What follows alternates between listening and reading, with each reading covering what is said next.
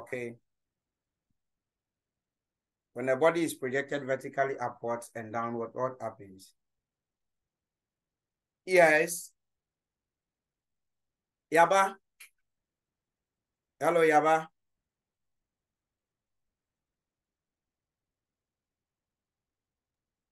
Hello, can you hear me?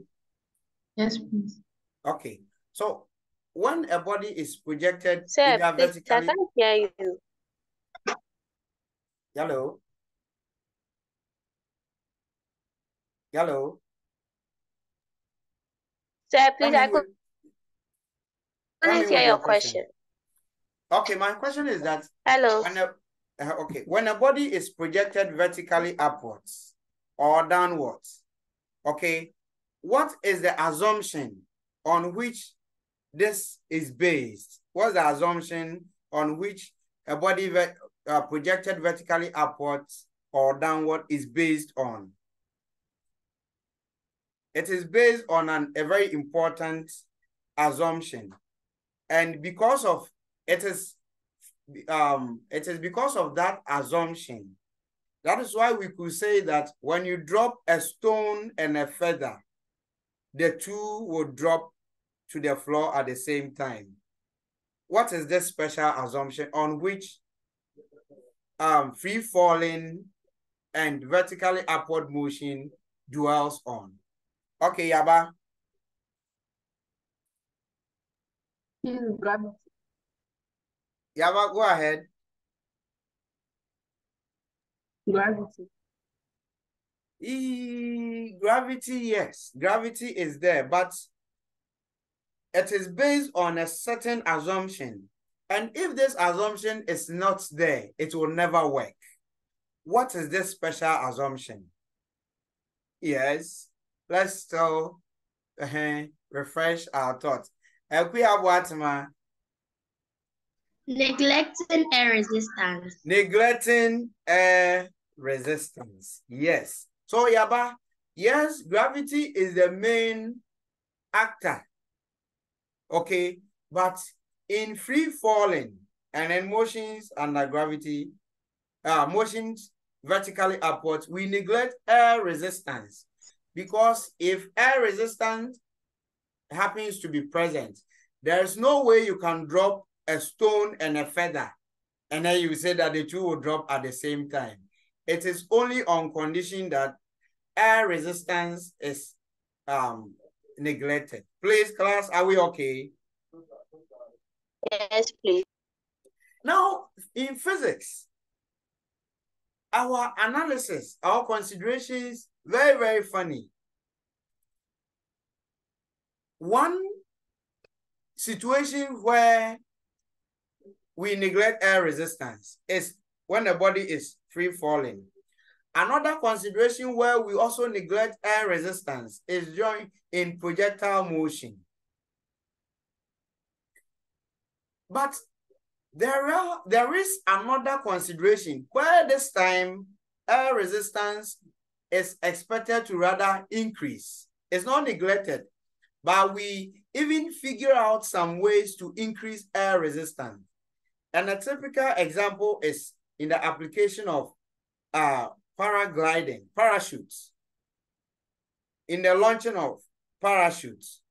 Okay, in the parachutes, we don't, or in paragliding, we don't ignore air resistance. Rather, we create conditions where the air resistance will rather be great so that it will balance force of gravity. And when force of gravity is balanced, then the the the um the person in the parachute okay drops or comes to the ground with constant velocity so we have situations where air resistance is welcomed and we have a situation where air resistance is neglected. One of it is in projectile motion. Now what is projectile motion? Projectile motion refers to the motion of a body, okay? The motion of a body that is giving a certain initial velocity. and the body is made to fall under the influence of gravity alone. Okay, so it is the motion of a body, the motion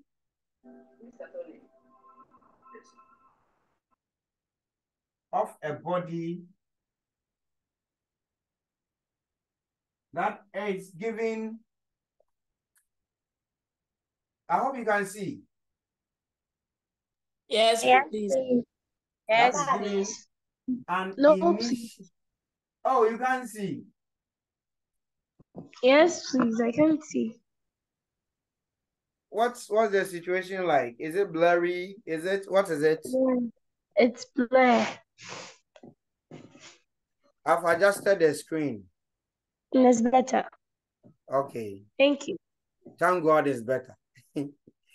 so the motion of a body that is given an initial velocity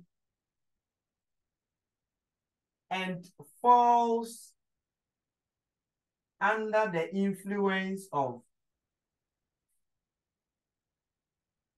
influence of gravity.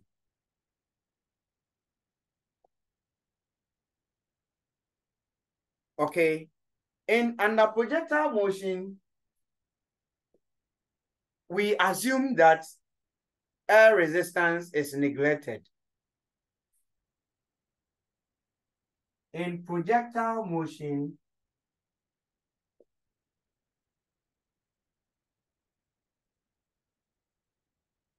air resistance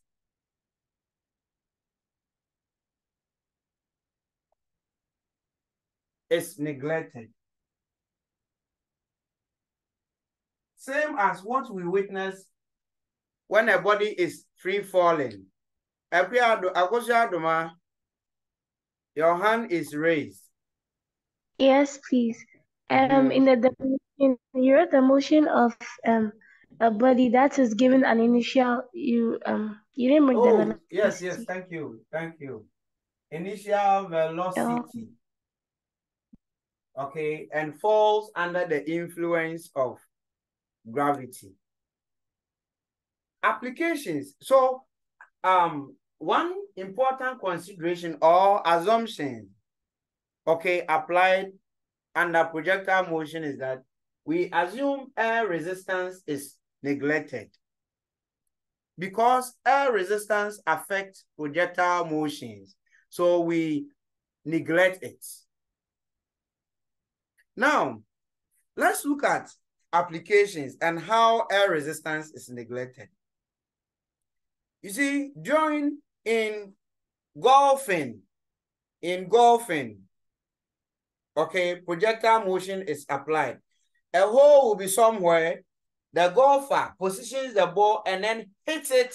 By hitting it, he's giving the ball a certain initial velocity. So, application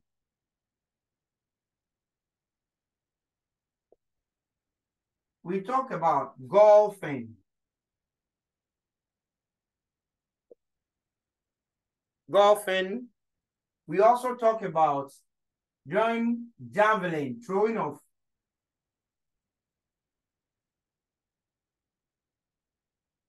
javelin. Javelin. Then this um oh this American game where a ball is thrown and somebody is at the other end ready to uh, ready to catch the ball. I've forgotten the name given to it, but it's it also dwells on projectile motion. Okay, then Rugby. I heard somebody is helping me. Is it baseball? This is it. Rugby. No, okay, Yes, rugby. Is it baseball? American baseball? Yes, please. Yes. Playing of uh, baseball. Okay. Let's this is one of it, but let's talk about then during the launching of missiles. Launching of missiles. In the launching of missiles.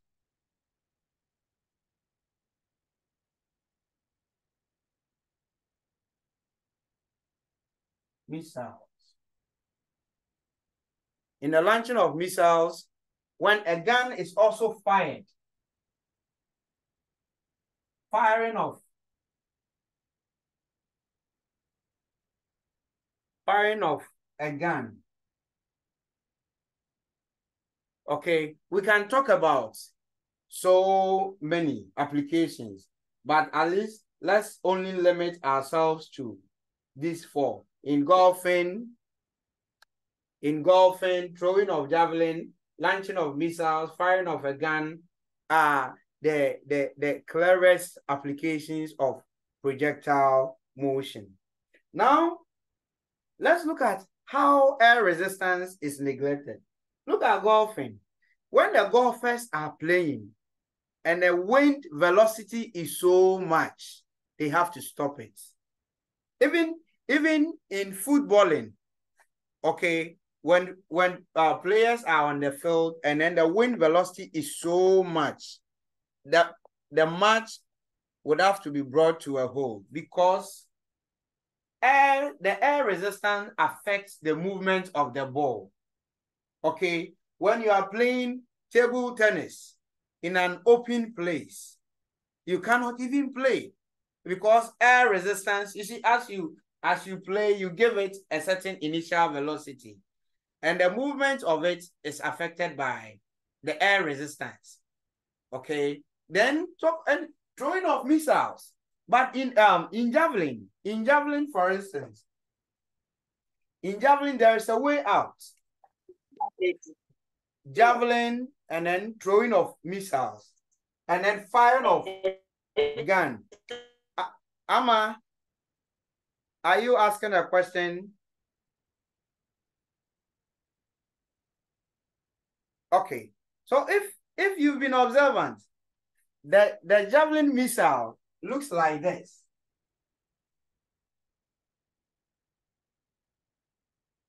It has a pointed end. The javelin missile has a pointed end. The reason is that air resistance increases when the surface area also of, of the of the material increases. And in javelin, this is the part that you are throwing. So this part that is being thrown has to be made in such a way that its interaction with air, the, the cross-sectional area of this part, which interacts with the air, is very, very, very small.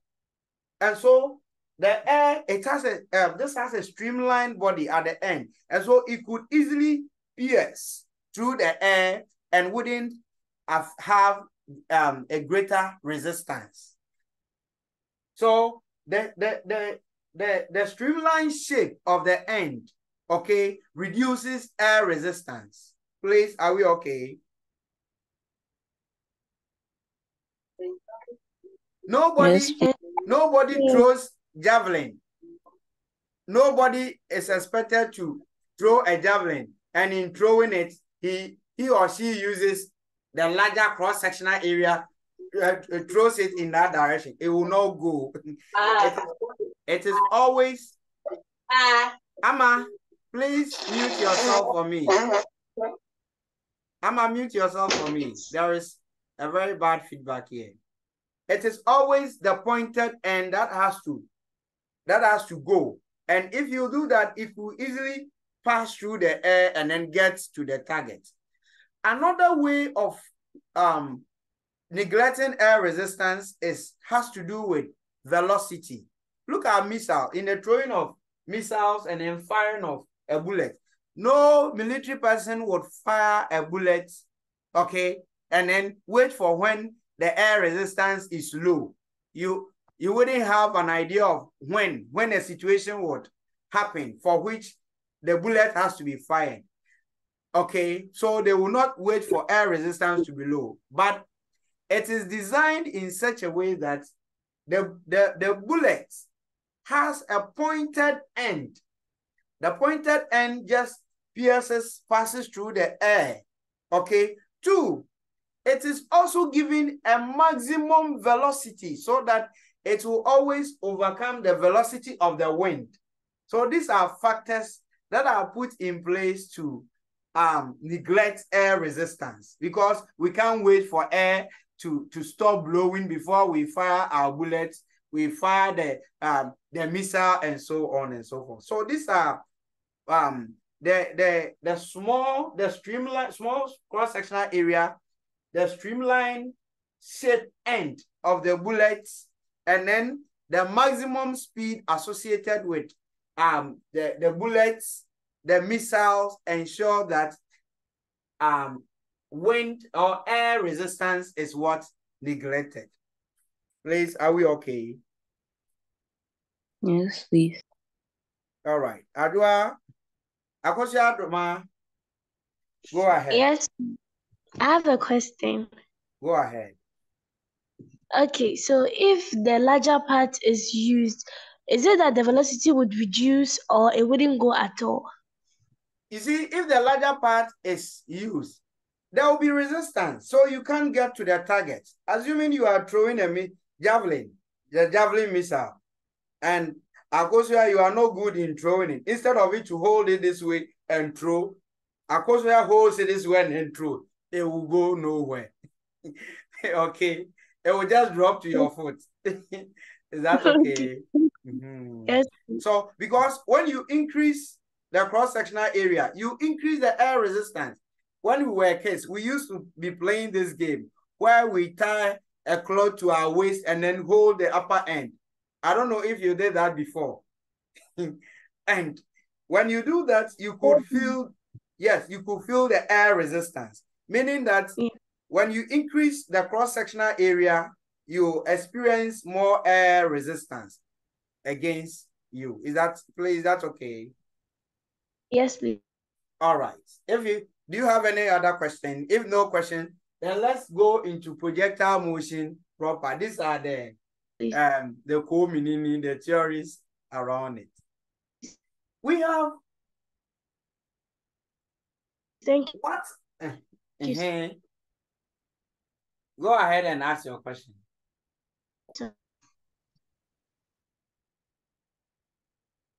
We have what